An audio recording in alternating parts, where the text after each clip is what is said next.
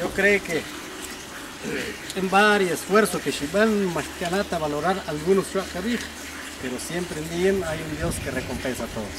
Le llaman desear bendición de Dios y Pichapachi, Ahí.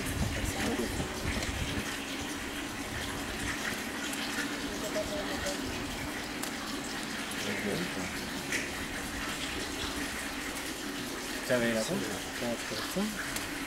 Ya,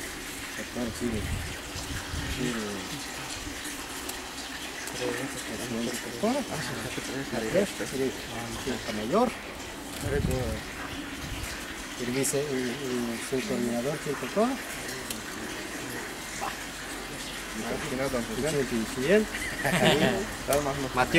Bueno, una foto vas a ver.